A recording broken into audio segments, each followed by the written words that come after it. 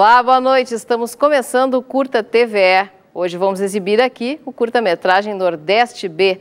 Ele foi rodado em 2009 por Mirella Cruel e traz imagens deixadas no computador pela diretora. Vamos ver então Nordeste B.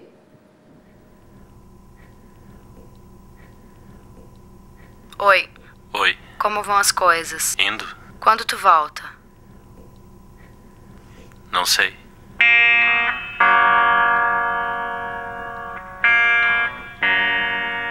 A Terra. Seu movimento circular.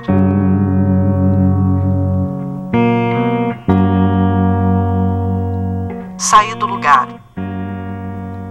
Qualquer viagem pressupõe movimento.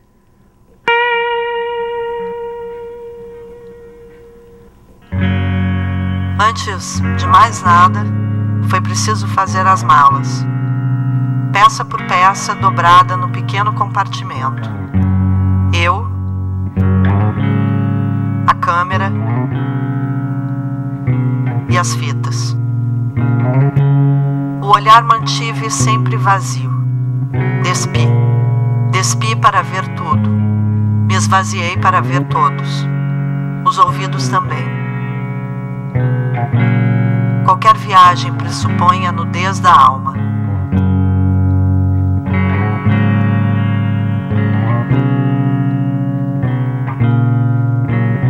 Movimento circular do tempo.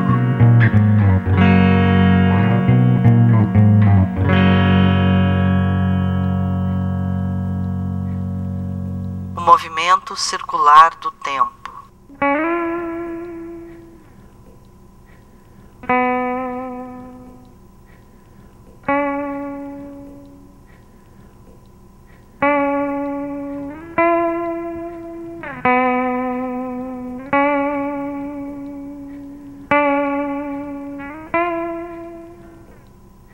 Seu José, ô seu José, seu José, ô seu José.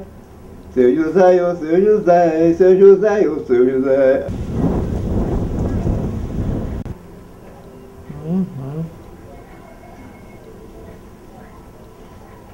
Dona Joana, Dona Joana, Dona Joana, Dona Joana. Dona Joana, Dona Joana, Dona Joana, Dona Joana. O Dona Calil, vocês só sabem cantar isso, ele se- só, mas se o senhor não se incomodar, a gente canta até bem cedo.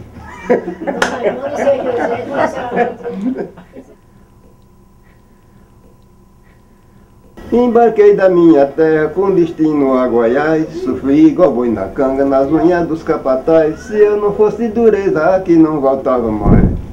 Fui enganado pelo dono do transporte Levei saudade do norte de mamãe e de papai E cheguei lá, foi vendido por dois mil Veja que nosso Brasil não tem leis e assim vai Talvez um novo significado às imagens.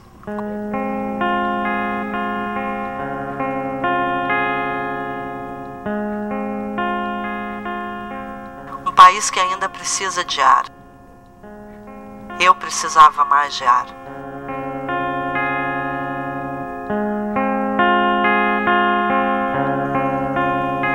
Primeira vez que vi o sertão. A primeira vez que vi o movimento nos canaviais nordestinos. Sem suar.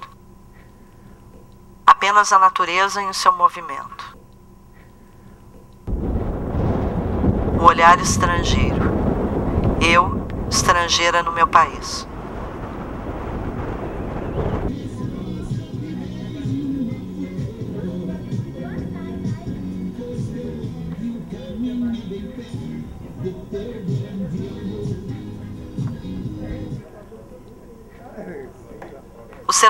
Nordestino sempre me comoveu muito.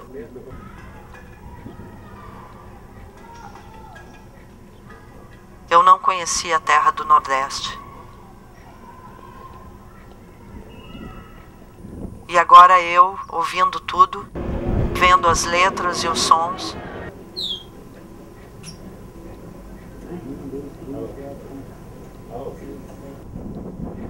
a parede de concreto da minha imaginação. O filme que não fiz. as imagens que encontrei na lixeira do computador.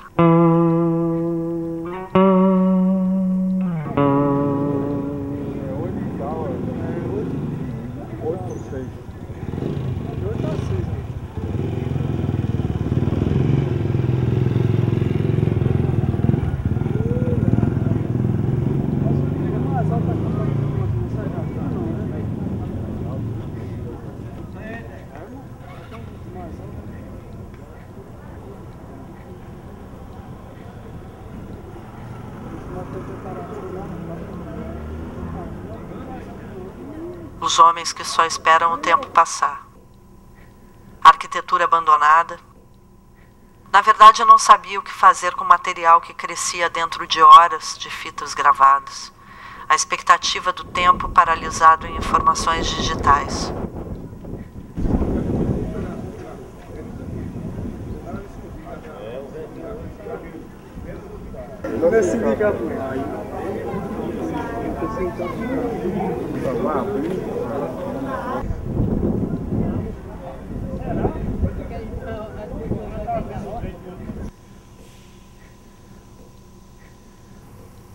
E o som.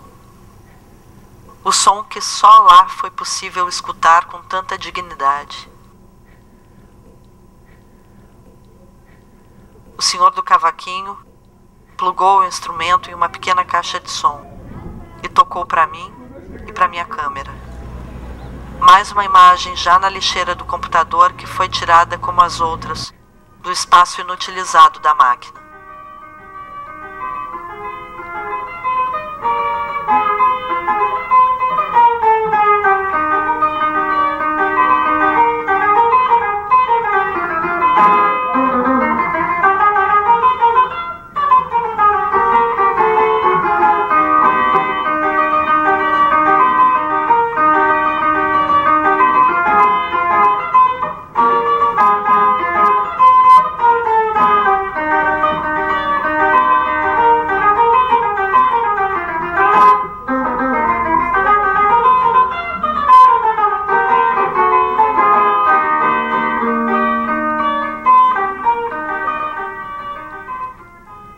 Parecia uma criança diante da grandeza daquele mundo perdido na minha máquina.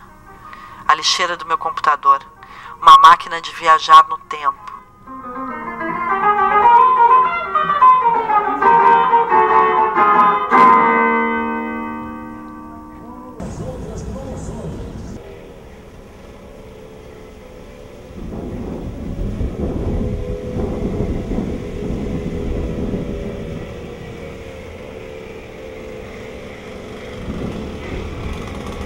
Pensando sobre o que as duas crianças conversavam.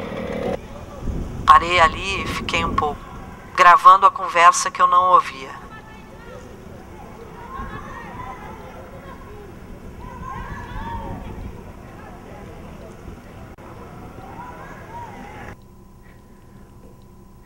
As duas mulheres sentadas em frente à pequena e antiga capela. O tempo pareceu desvendar um pequeno segredo ali.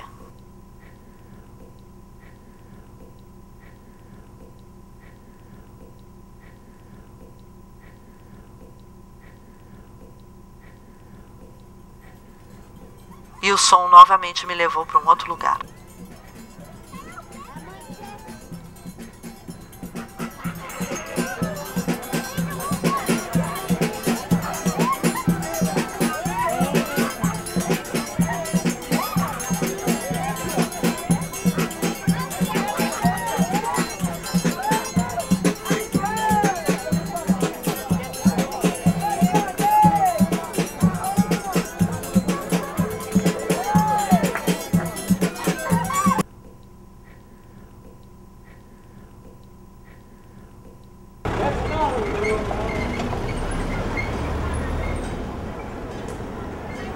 Observava, o que ele esperava. Eu tentada em ver a cena até o final. O olhar do viajante.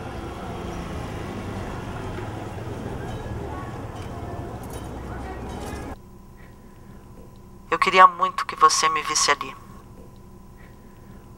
Você estava em todos os lugares do Nordeste.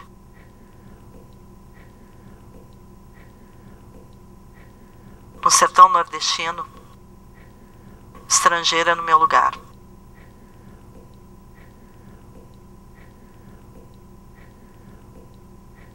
Fora de mim, um espaço oco, latitude, longitude, o registro móvel, o tempo capturado.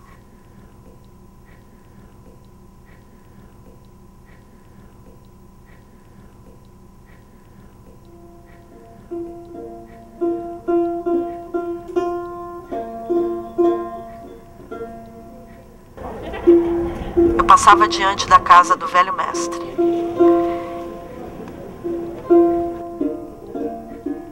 Entrei no jogo da sua afinação árida. É, porque a primeira, a segunda, a segunda, a terceira, a terceira, a número quatro, sabe? Seja fora. Seus dedos reumatizados de tanto som.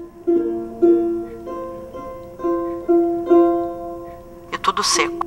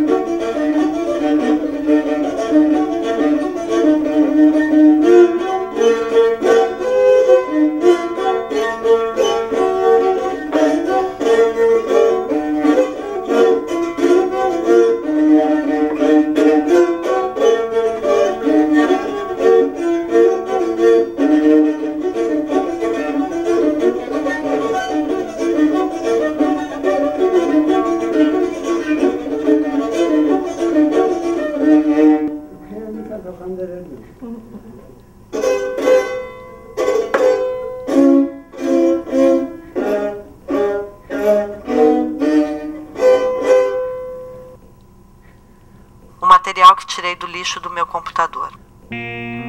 Agora vejo na tela, como notas escritas em uma partitura concreta. Revendo as imagens, percebo a linha que divide esse imenso território. A linha que separa eu de você. A linha que separa eu de mim.